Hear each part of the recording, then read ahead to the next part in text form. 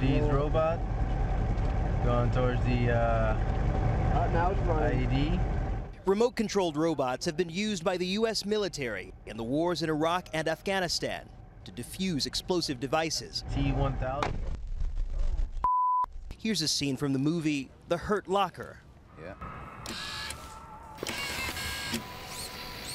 Oh, look at that. Nice 155, huh? And in recent years, some local police departments have invested in the technology to investigate suspicious packages and cargo. But in Dallas, a potential first in the United States, the delivery of an explosive device by a robot that was used to kill the police shooting suspect, holed up in a garage.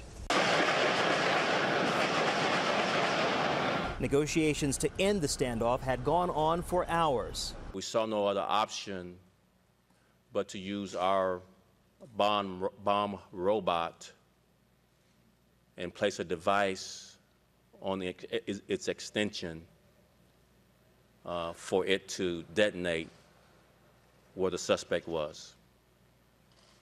Other options would have exposed our officers to grave danger. Police have not released the details of their tactic, what type of robot was used, information about the bomb and how it was detonated, or if the robot was even present at the time of the explosion.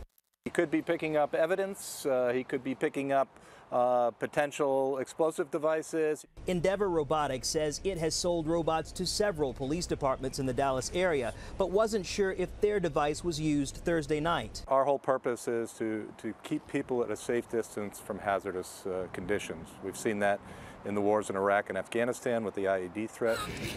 Robots are expensive, with some costing more than $100,000. But local police departments say the technology is well worth the cost. Before uh, bomb technician had to climb into a suit, go down and take care of business. Uh, where now we can use the robotic system. It's made the job so much better.